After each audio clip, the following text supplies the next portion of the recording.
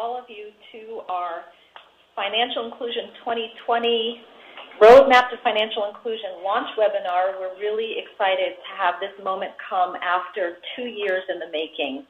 I'm delighted that joining me here are Bill Gajda, Global Head of Strategic Partnerships for Visa, Peer Stein, Director of Access to Finance Advisory for the International Finance Corporation, Evelyn Stark, Financial Inclusion Lead for MetLife Foundation, Tanaya Kilara, Financial Sector Analyst for CGAP, Jasmine Thomas, Program Officer for Citi Foundation, and Elisabeth Rhyne, Managing Director for the Center for Financial Inclusion.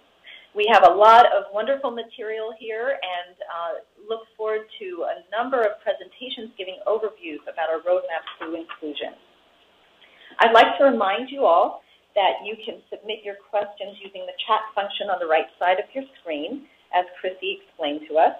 Questions will be read and addressed during the Q&A period at the end of the presentation, but if there are some really great questions, we may uh, invite you to submit them as we go along, and we'll see if we can weave in something a little bit more conversational. So don't wait to submit your questions.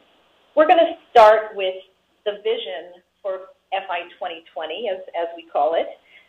Could full financial inclusion around the globe be achieved by the year 2020? We at the Center believe it's possible if all the stars were to align and if the obstacles could be removed. And so we've been trying to build a movement that mobilizes key stakeholders around the goal of full financial inclusion. And we're using 2020 as a focal point to clarify thinking and to spark action. We've been delighted to be able to work together with private players, regulators, industry developers, technology providers, and other actors. And we're one of the things that we think adds strength to this movement is that there has been such a diverse set of players who have joined with us in this quest. So what is it that we're trying to achieve? What would be different in the world afterwards?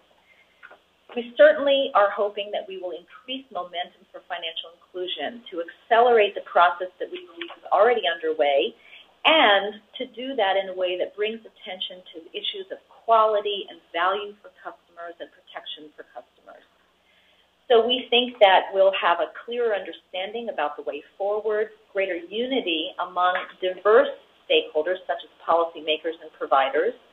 Uh, we believe that um, a key to all of this is developing new relationships to promote cooperation, uh, a better role, uh, understanding of the role of microfinance the, the people who started us off on this quest, how can their role be enhanced in this whole bigger picture of financial inclusion? And then, last but not least, the growth of political will to achieve financial inclusion, which we think ultimately is the most important thing. We believe it's a doable, realistic needs political will to make it happen. What is it that we're talking about when we say financial inclusion? What is our definition? The first part of it is that it's access to a full suite of financial services. So that includes credit and savings, insurance, and payments. That those services are provided with quality, that they're convenient, affordable, suitable, provided with dignity, that they come along with client protection, that they're provided to everyone who can use them. So that means all those who are excluded and underserved. And that those clients are financially capable, that they're informed and able to make good decisions about the use of financial services. And finally, we believe this will happen through a very diverse and competitive marketplace, that there will be a range of financial service providers, and that that needs to be supported by a robust financial infrastructure and a clear regulatory framework. So that's our, our definition. That's what we're seeking when we talk about full financial inclusion. So a couple of years ago, we embarked on this process of building roadmaps to financial inclusion around five key areas that had been identified by 301 global experts. And those issues are technology, addressing customer needs, credit reporting, building financial capability, and client protection. So over the past couple of years, we've had five working groups uh, consisting of about 45 representatives uh, representing countries all over the world. You can see the list there on your screen. And after we went through this process, we said we want to go cast a broader net and see if we got it right. And so we went out to another uh, another 130 or so people and asked them to review and comment on these roadmaps and help us fix them and make sure we were getting it right. So this has been a product of this ongoing multi-stakeholder process addressing both public and private sector actors.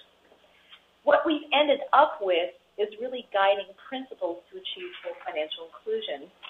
And what we've ended up with is something that really is a, platform for dialogue. We do not think we are done. We do not think we have all the answers, uh, but we hope that we've created something that will be a starting point as we move forward. I wanted to put this into context of the bigger picture of what we're doing with FI 2020 we have Mapping the Invisible Market, which we have previously done a webinar about, and we encourage you to go to our website and play around with the really interesting research and analysis from the Mapping the Invisible Market project. And then we have the Roadmap to Financial Inclusion, and all of this involved extensive outreach. And all of this is coming together at a global forum that will be held in London, October 28th through 30th.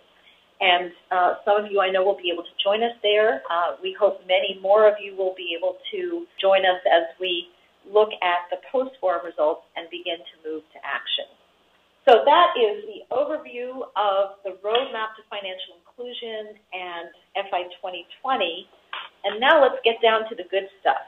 We've had tremendous interest in our roadmap on technology-enabled business models, and we're delighted that Bill Gajda, Global Head of Strategic Partnerships, Partnerships for Visa, chaired that working group and has been uh, very engaged throughout this process. Bill, walk us through what were you doing for the past year and a half uh, when you were working on this roadmap? Yeah, thank you very much. Uh, first of all, again, I want to thank everyone for joining um, today's webinar obviously, you know, Visa started this process with Citi and the Center for Financial Inclusion almost two years ago because, you know, we we are and remain committed uh, to financial inclusion. You know, whether it's through um, our operations in Fundamo or with Fundamo in Cape Town, our new Visa Mobile prepaid product, or just the hundreds of people that we have on the ground in the markets that we all talk about. And so, um, obviously, we were delighted to participate in FI 2020, and particularly in the technology roadmap, and I'll, and I'll get to that in a minute. The second thing I'd like to say, though, is I, I just want to thank all of the working group members. We had great participation representing a, a broad spectrum of, of, of sectors um, related to financial inclusion. Really good meetings, uh, really robust dialogue because it's a complex issue, and I, I just want to thank the, the working group members for all of their participation. Uh, the, the first thing I want to say about the work that we did is I think we realized very early on as, as a working group that it really wasn't our role to solve technology. As as as we see, innovation continues and in fact accelerates in this space. W- whether it's evidenced by what's happened with the iPhone 5 that you now just use your thumbprint to access, or a sub $50 smartphone um, using Android in India, or all of the cloud-based solutions that we see, or the more than 150 mobile wallets that are being launched in the markets that we care about with banks, mobile operators, and in fact, third parties. And so we know that technology innovation will continue apace. And our focus was really try to try to identify those key conditions that would support the rollout of this technology. That if innovation was going to continue, what were the areas that needed to support technology in order to continue to reduce the costs, continue to make it simple, and get it in people's hands in, in the markets that we talk about.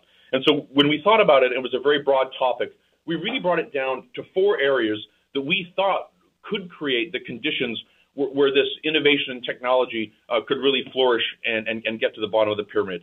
And, and, the four that we identified were enabling a regulatory framework uh, that we realized that it was really important, or, or, rather that governments and regulators had a crucial role to play in, in setting up an environment, the building blocks for successful rollout of enabling technology in these markets.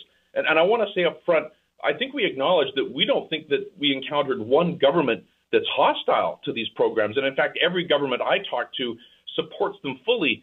It's just that much of the regulation that we encounter today was built for an analog banking and, quite frankly, an analog telecoms environment. And so we just recognize that the evolution of regulation in this area was required to match the evolution in technology. And so one of the areas that we focused on was regulatory framework. A second was interoperability. We saw that you know the success of the mobile industry, the success of um, financial services industry, has been really based on open standards and interoperability. And, and we know that in the medium or the long term, that interoperability will, will play a key part in, in driving scale and access to services for financial inclusion as well. The third one, and we really just scratched the surface on this because it's such a big area, is the improved use of customer data and how we can take all of the data that's being generated as we put this enabling technology in people's hands to, to allow them to gain better access to a broader range of financial services, how we can potentially allow them to build financial identities just based on their mobile device as opposed to some more traditional means. And we understand that data is going to play an important role. And then finally, it really is about getting this technology in people's hands as, as innovation continues, and, and uh, the distribution was also important. So then specifically, and you'll see this in the report and at the event um, in October, we make a number of key points. And the first one is that we recognize how important technology and its continued innovation are going to be to drive financial inclusion, and that this is going to be an area of focus as we try to achieve our goal um, towards 2020. Obviously, electronic payments is, is really accelerating the drive to financial inclusion, driven by the ubiquity of mobile, but increasingly driven by the access to data as everybody has a browser in their hand, everyone has access to internet, even on very basic phones, and we see that more and more services move from a device and an analog world to a cloud and a very, very much digital world. And we recognize the role that, that big data is going to have in, in, in making these services more simple and more rich. Again, we, we're going to make a point in the report that regulators, you know, must open restrictions that disproportionately affect the bottom of the pyramid, such as, in some cases, onerous concerns around knowing your customer um, and, and regulations around agent banking and mobile banking. And again, not that I think that again, I have encountered a, a hostile regulatory environment. It's really just helping the regulators through identifying best practices, um, helping them keep a pace as they think about how best to support um, financial inclusion. Because again, I think almost every government does want to support financial inclusion. Again, interoperability, and this is a complicated one because I think everybody saw that interoperability in the long term is going to be a key driver for both scale and access and the globalization of these services, the ability to cross mobile networks or to cross banks or in many cases to cross borders. But I think that we also realize that there's got to be a, a way that interoperability is implemented that respects the role that the individual participants have made and the investments they've made in these markets. And so the timing and the nature of interoperability, I, I, think, is, very important. And, I think that we wanted to ensure that there wasn't a jump to interoperability or a mandate to interoperability before the market conditions um, really warranted it. But we did recognize that interoperability is, going to be very important. Um, again, we also looked at that in addition to um, you know general changes in the regulatory processes, that as technology continues uh, to accelerate, that we really are going to try to facilitate, or we think there needs to be closer cooperation amongst the other agencies. One of the challenges we have in many of these markets is when you talk about mobile money, it's not telecom regulation or banking regulation, it's both. And in many cases, it involves other agencies as well. And so we recognize that in many of these markets, in order to drive financial inclusion, there's, there's required a higher level of cooperation among agencies that may not have cooperated much in the past. And we see that this is an important factor as, as technology kind of converges uh, around mobile and, and commerce. And then finally, we saw a very proactive role that the governments could play because of technology and the ability to incentivize customers uh, to adopt this technology because of the importance of things like government to people funds, um, universal service funds, international aid disbursements, that in fact, uh, these programs could provide very important liquidity to drive consumer adoption. And so, besides regulation, we think governments, if they're effective, can play a very important role in actually driving the success of the individual implementations. Um, this is really just a, a, high-level summary of what you're going to see uh, in the report. Um, if you haven't already started it, and I, obviously we look forward to participating um, at the uh, the event in October in London, and I hope to see many of you there. Thank you so much, Bill. And again, thank you so much for your leadership of that really terrific working group. I, we're going to turn right away to Peer Stein, um, Director of Access to Finance Advisory for the International Finance Corporation. And we've been really honored to partner with IFC on the roadmap to, for credit reporting. So, Pierre, take it away. Thank you, Susy. So, yeah, IFC and the World Bank has been working on credit reporting for a bit a little over a decade now. And uh, I think it's um, now consensus or very broadly recognized that credit reporting really is a critical building block of inclusive financial systems. It essentially allows to lower the cost of lending as well as uh, allows lenders to avoid over-indebtedness uh, for clients. So obviously two very important and critical elements uh, for inclusive financial systems. However, what we've seen more recently is that it is not without challenges to bring credit reporting to the base of the pyramid. And uh, this has really been the work of this working group to see what can we do to extend the benefits of credit reporting more broadly so that indeed we build robust, inclusive financial systems that work for all. And there are really three key challenges that we need to address and that are also part of the roadmap. The first one is that we often deal with a very diverse set of financial institutions that cater to the base of the pyramid. They may not all be regulated financial institutions or banks, uh, quite the contrary. Uh, quite often they are you know, uh, non-bank financial institutions. We may see mobile financial service operators, so uh, a very diverse set, or smaller microfinance institutions. So for them to make this work, it often requires changes at the regulatory level to allow them to participate in credit reporting systems, but also it often requires significant investments in their systems to really participate and use the data so it can be incorporated in the lending processes. And it is not uh, an insignificant investment for a small institution. The second challenge revolves around data, in particular the need for alternative data. The issue that we're facing at the base of the pyramid is that the majority of the people that we're trying to reach are unbanked. So they do not have uh, any data yet that is with banks or with financial institutions. So we're starting out from a clean slate when you look at it through the lens of a bank. So there's no bank data here. But all of them have, as we know from portfolios of the poor and other research, a large number of financial relationships in the informal sector with landlords, with informal lenders. And so the key question here is how can we tap into this information and bring it into credit reporting systems? And there are certain data sources, and that goes back to Bill's point around the importance of technology, that uh, are easier to tap into, like mobile phone data, right? So there has been a lot of work around how to use transactional data and how do you consolidate that into uh, credit reporting systems so that it can be used to pre-qualify or allow you to access credit much more easily. But so the second challenge around data and alternative data is a key one that uh, no, uh, we need to address as part of the roadmap.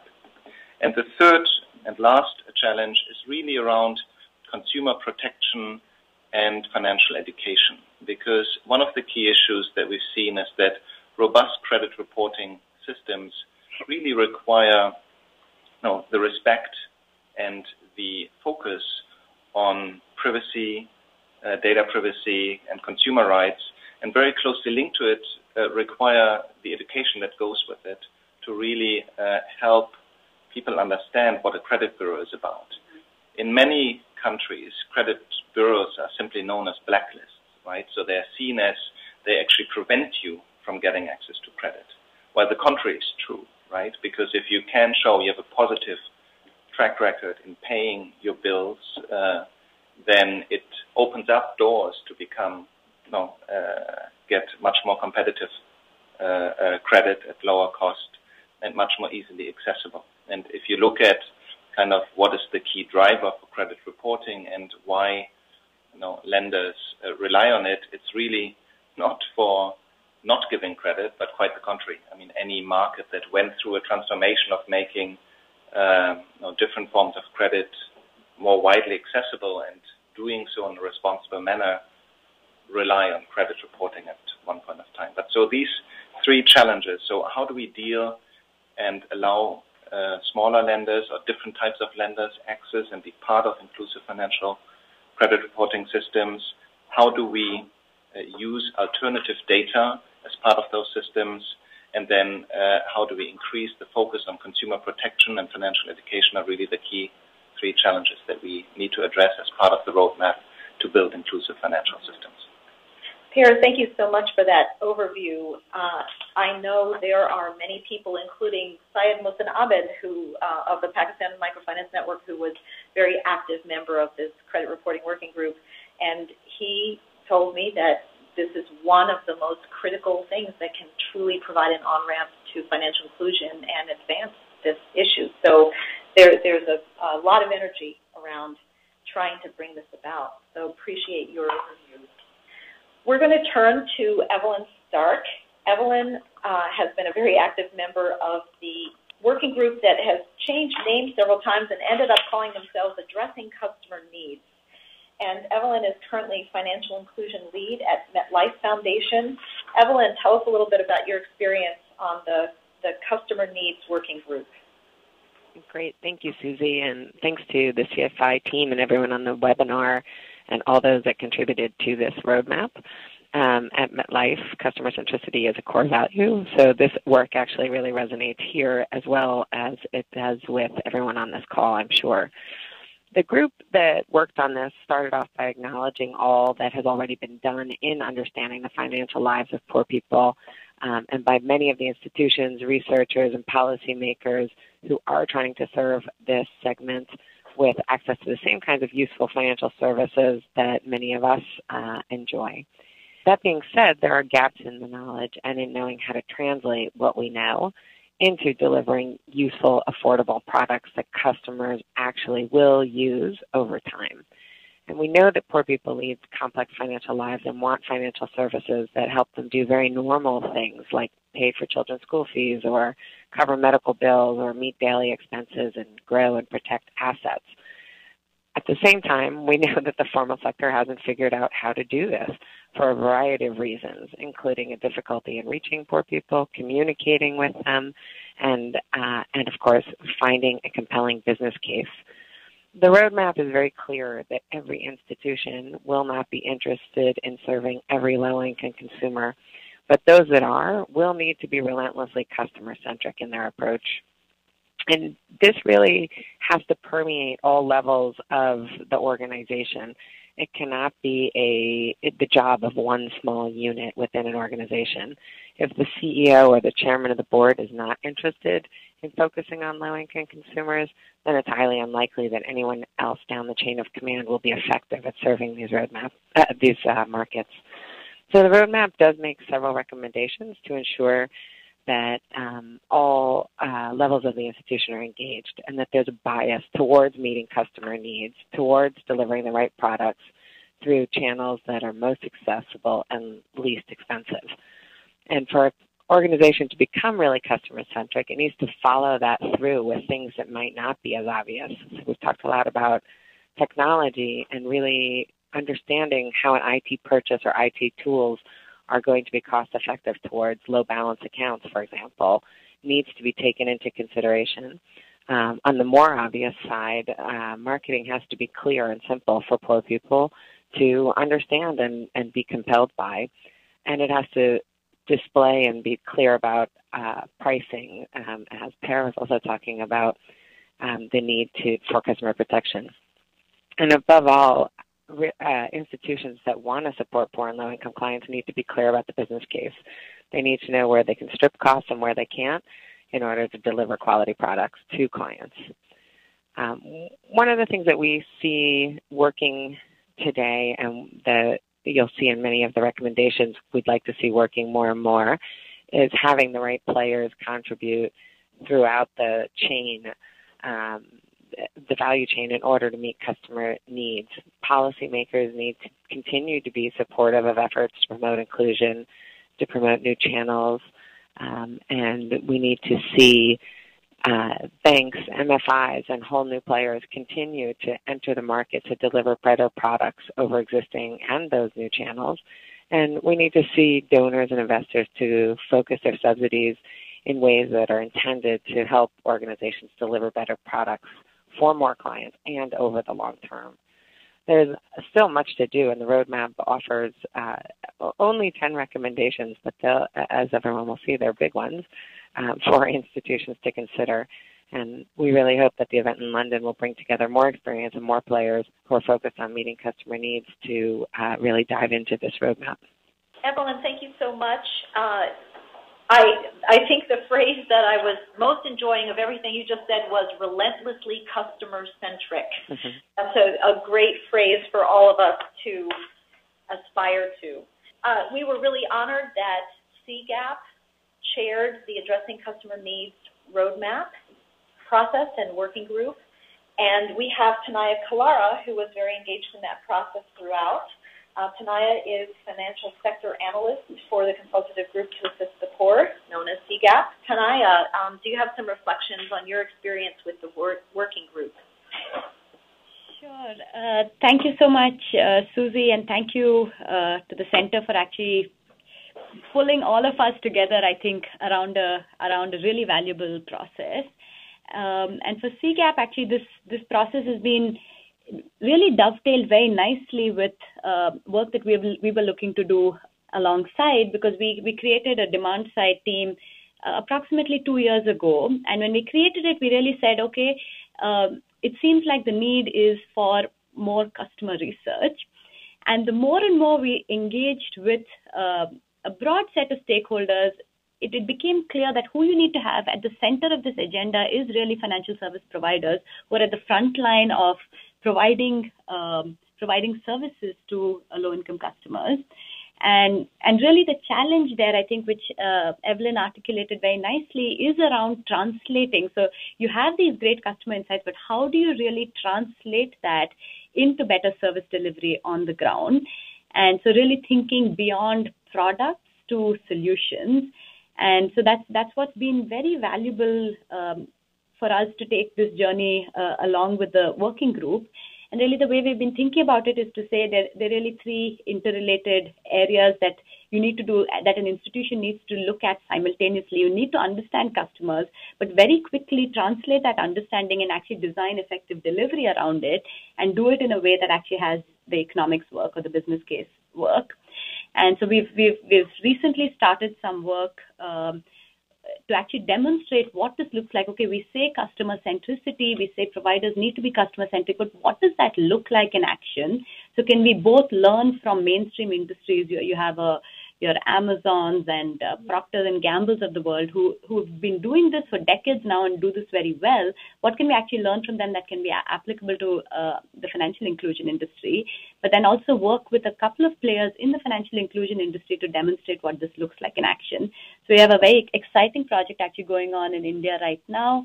Uh, you can follow it on our blog. We just did a blog post on it yesterday. We have a Facebook feed on it.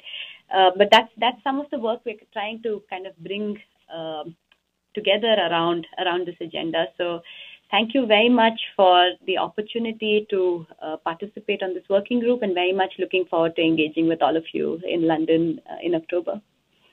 Thank you, Tanaya.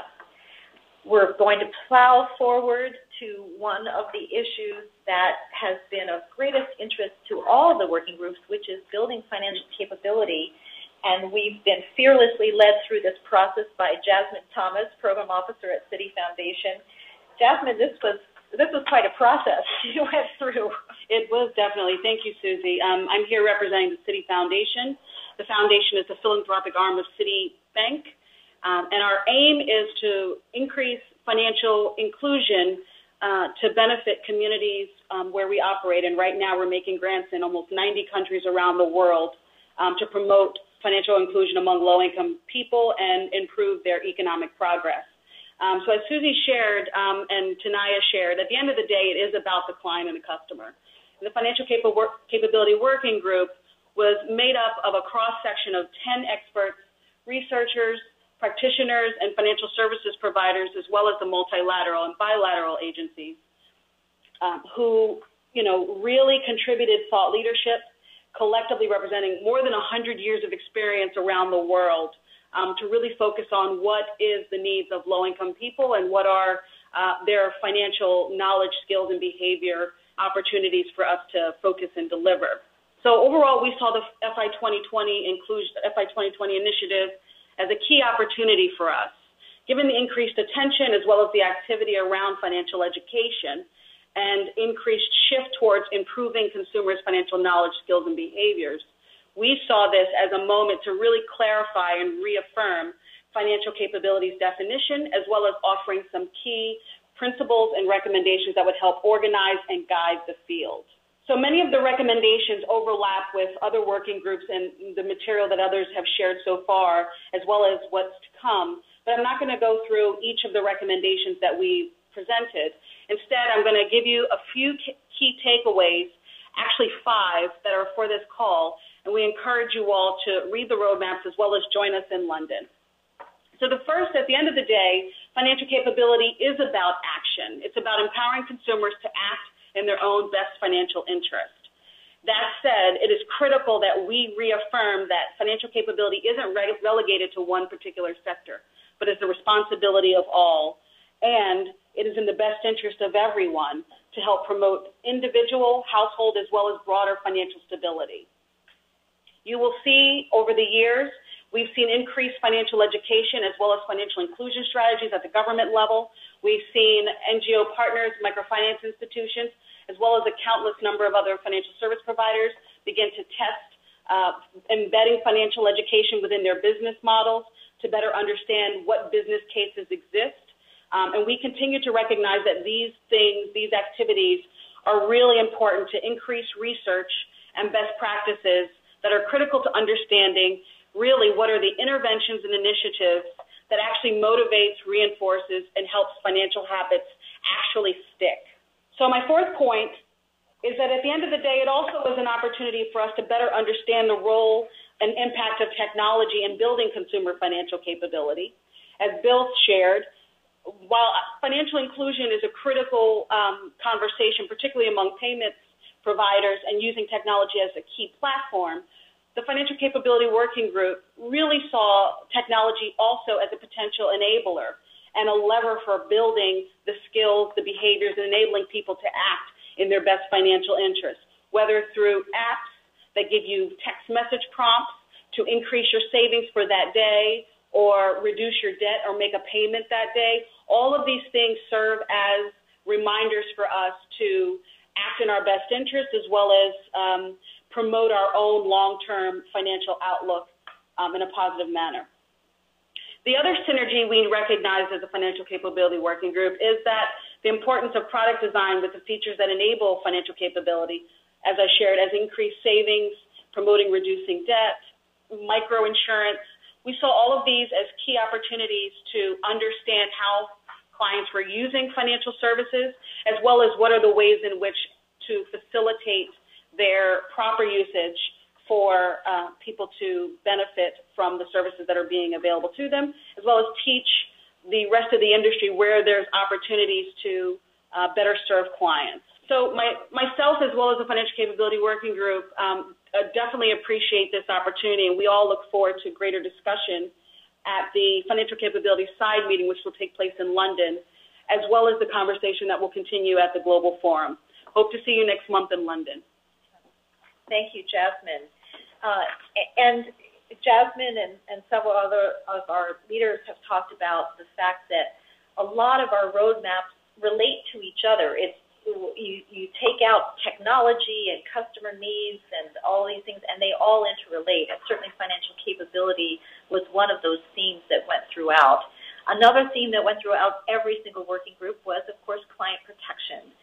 Um, that it's not just a race for access, but it's also got to come hand in hand with um, value for clients and client protection. Elisabeth Rhyne, Managing Director of the Center for Financial Inclusion at Accion, uh, co-led that working group along with Dave Grace. So, uh, Elizabeth, tell us what the group found out about client protection. Okay, thanks, Susy. I think the starting point for the group on client protection is the, the idea that if financial inclusion is going to bring millions and millions of brand new customers into the into the system, and if those customers are going to be lower income customers who are still quite vulnerable in many respects, and who may have lower education, that is a very risky situation.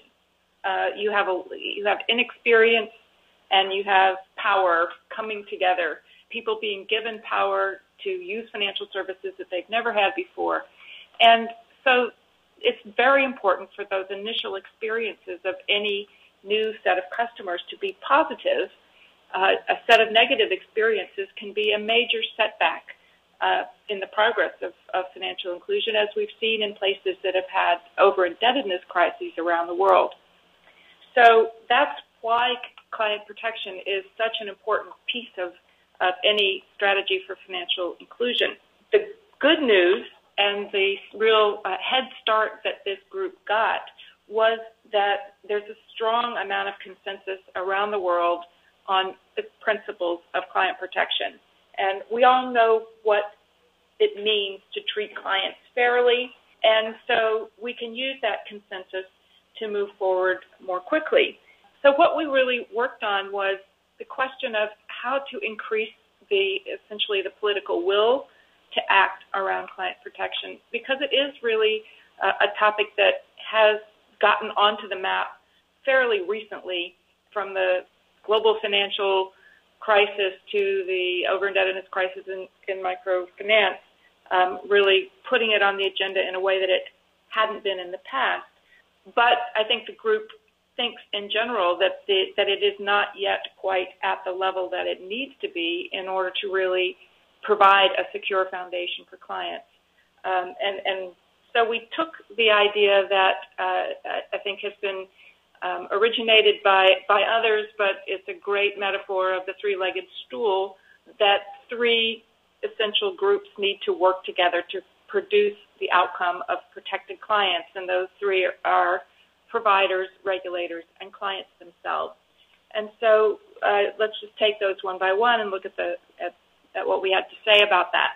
Providers really are the interface between it's it's at the interface between providers and clients that client protection actually takes place. And so that means that inescapably providers have the first line responsibility to create positive client outcomes.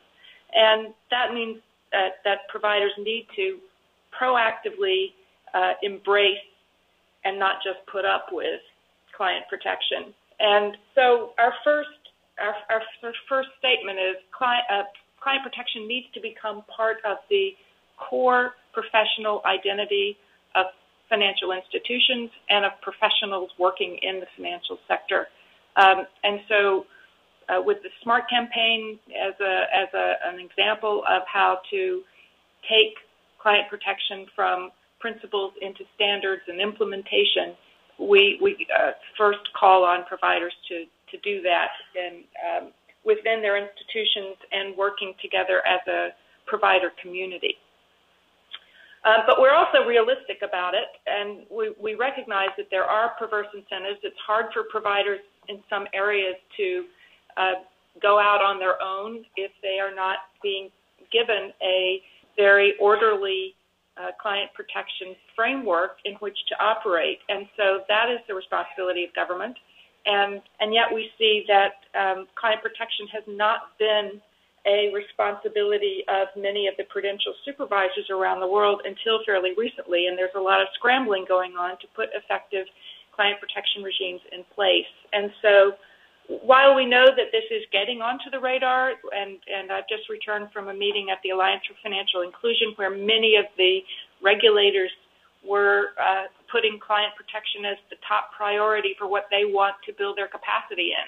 But um, we really want to see the, the, level of effort stepped up there, and so we are proposing that the uh, global community adopt a goal and really work towards a goal of uh, effective client protection, regulation, and supervision in every country by the end of this decade. Turning to the last group is the clients themselves, and of course, this is probably the least well developed aspect of client protection right now. Clients are not organized in a way to assert their rights. Um, certainly financial capability building makes a difference, but we're excited about the possibilities of creation of mechanisms that allow clients to voice uh, their experiences and, and uh, much like a TripAdvisor or a, um, some kind of a way of making public the uh, problems that they have um, in order to allow a feedback loop to take place. And we haven't seen a lot of examples of that yet. The, uh, the Client Protection Bureau in the U.S. has started to publish data, and, and so it's, we see the beginnings of that with, with uh, CFPB. But we think it's a very promising area and want to see more development take place in that area. So the three legs of the stool and political will. Thank you, Elisabeth Rhyne. So that was a really fast trip following the progress of the five different working groups to build roadmaps around financial capability, addressing customer needs, technology, credit reporting, and client protection. Obviously, there was a wealth of information that occurred. You can go to our website at financialinclusion2020.org in order to find copies of the roadmaps to financial inclusion and learn a little bit more about what these, this process entails. But first, let's go to some questions. We have just a few minutes, and we have a, a great question that came in for Bill Gajda. Bill, the question is, mobile money operators are still leading the development of mobile financial services. So what about banks and microfinance institutions and other players? Are they getting more involved as well? Yeah, it's, it's, a, it's a great question. So I would say that we are watching um, many more banks um, and some mi- microfinancial institutions get involved as the primary leads in launching um, mobile money services. And this has really started, I think, in sub-Saharan Africa and, and parts of the Middle East. At the same time, though, another phenomenon we're seeing, and India is a good example, but there are others, we're starting to see partnerships between banks and mobile network operators from the start. I mean, most mobile money networks require a bank as the ultimate custodian of funds because of regulation. So there's almost almost always a bank somewhere in the mix. But increasingly, we're seeing either banks use agents and agent networks to drive their own banking distribution, or as I said, in many cases, more and more partnerships um, between banks and mobile operators. So we are starting to see it move from those first pioneers out, out to the financial institutions. Thank you, Bill. You know, there's another question that came in, and usually we sort of paraphrase questions, but I love how well this was worded, and so I'm going to read it pretty much as is. Uh, and this question is Everyone has highlighted the importance of an enabling and appropriate regulatory environment. Has your group begun developing recommendations for the diverse group of interested participants on how they might work together to engage regulators? It's, it's really a terrific question that gets to the heart of what we've been trying to do, and I think uh, I'll kick that to Beth Rhyne. Well, uh, you know, I'm wondering, this is Jasmine Thomas um, at Citi Foundation. One of the things that we've seen among many of our practitioners, as well as in some of our more uh, regional and global events like the Citi Financial Times Financial Education Summit, is that more regulators are interested in understanding which financial education programs are actively proved to be more effective and have the capability to go to scale. Um, and that means as they're building their national financial education and inclusion strategies, they are reaching out more and more to donors as well as practitioners to better understand uh, what's available to them and how they can be um, a key player in driving inclusion in their country. And I would offer that, um, and we're very impressed with what we've seen, and right now we know that more than uh, 30 countries around the world have built strategies already. I think the key opportunity is to identify, particularly among the practitioners in the field, the NGO leaders, as well as researchers, is to really give them that evidence, give them that data that is sharing with them the opportunity to implement such a program, as well as what's the technical assistance strategy to make sure that programs not just uh, focus on the Minister of Education, but also the Minister of Finance, and the Minister of Community Development and Social Services so that capability is built within the entire national framework and not, again, relegated to just one agency within a country. Thank you, Jasmine. Uh, here are a couple of client protection questions for Beth. Um, and I'll, I'll, just give them both. They're both uh, interesting questions. One is Should client protection be incorporated into the legal framework of commerce in a given country? That's one question. And another, another listener asked, What about this voice of consumers? That's an interesting point. What role, if any, should there be for NGOs to help constructively communicate the voice of the base of the pyramid consumers? And have you seen any good examples? So, two very different takes on client protection but they make a really good combined picture uh, between the regulatory and consumer aspects. Okay. On the legal side, uh, of course, there already are um, client protections built into basic commercial law, and you know that that that exists. That sort of framework exists in in every country, and in some countries it's more uh, elaborate than others. But I think we recognize in the financial sector is that uh, basic commercial law does not go far enough and is not specific enough to the to the characteristics that are involved with financial services, in part because financial services are intangible and because they take place over time. And uh, those are some of the, the reasons why you need very specific financial sector uh, consumer protection laws or regulations. And so, in many cases, one of the challenges of consumer protection is to get the legal framework right, and it needs some adjustment and, and possibly some legislation um, underpinning it. You also have a lot of regulatory agency confusion in some countries, in bigger countries where you have multiple agencies that are sort of not crystal clear about who's responsible for what.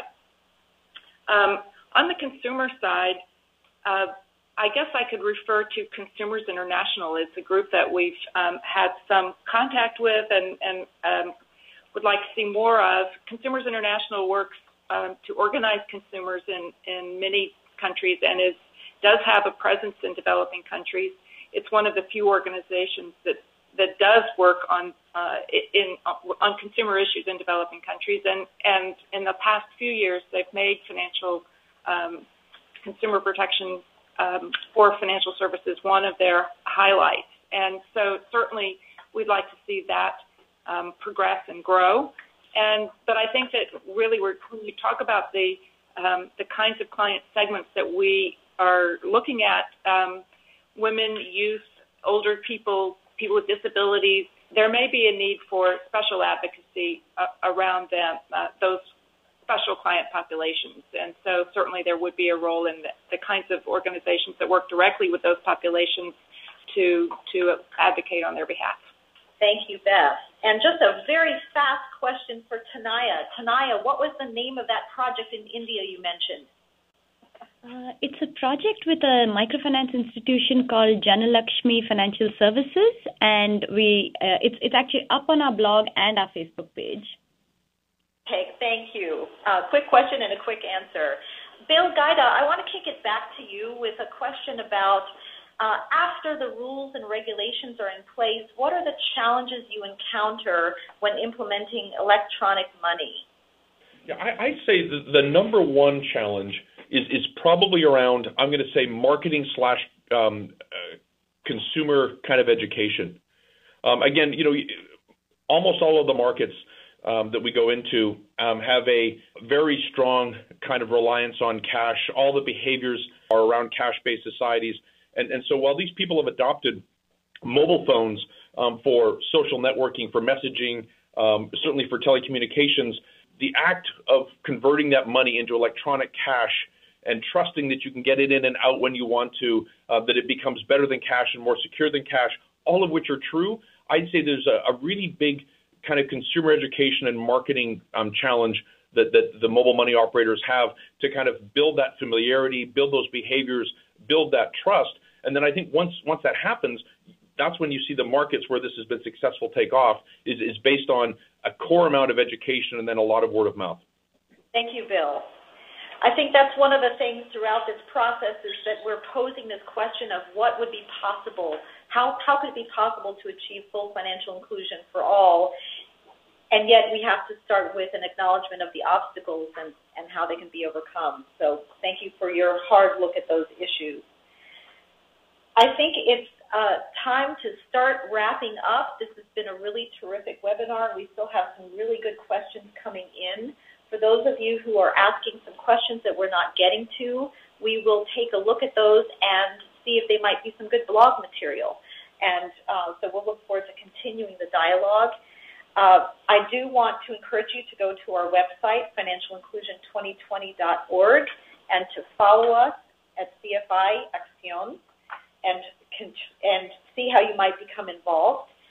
Certainly, we are in an ongoing process to continue developing the roadmaps to financial inclusion, and we would benefit if you would review them and comment. I mentioned earlier that we have data that's just waiting for your analysis on our website at Mapping the Invisible Market. We have the FI 2020 blog series that we would love for you to follow, and you could sign up for updates by going to our website. Uh, Adriana Magdas at the center is on hand, and she's also the one who, if you're interested in attending the Global Forum, it is an invitation-only event, and if you're interested in attending, she's the one to contact to explore more. There's one last question on the business case that it would be great to just close with and that is the question of why should banks and other financial service providers get involved in inclusion? And I just wanted this is this is Beth, and I, I wanted to speak to that just as a closing note because uh, one of the other pieces of Financial Inclusion 2020 has been the Mapping the Invisible Market project, in which we've looked at uh, demographic trends and rising incomes in the developing world. And what we see is that there is a tremendous market opportunity that is emerging uh, all across the world with people who are uh, rising to a level of income over the next decade in which they will have enough income to be able to consider using financial services. It's a tremendous market, and when you combine that with technology advances, we know that there's going to be major leaps forward uh, because the business case is there and it's getting stronger every year. That is a great note to end on. So thank you, Elisabeth Rhyne, for those closing comments. Thank you also to Jasmine Thomas, Tanaya Kilara, Evelyn Stark, Peer Stein, and Bill Gajda, who have been leading us through the process of building a roadmap to financial inclusion. I'm Susy Cheston, the head of the Financial Inclusion 2020 project. I'd like to thank you all for joining us and remind you to check out financialinclusion2020.org.